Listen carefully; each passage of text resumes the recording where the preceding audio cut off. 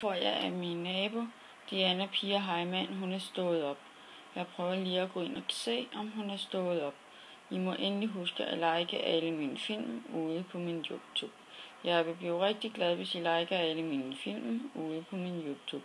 Bare så I lige ved det. Vil I ikke nok være søde at like alle mine film ude på min YouTube, så vil jeg blive rigtig glad. Så nu ved I også det.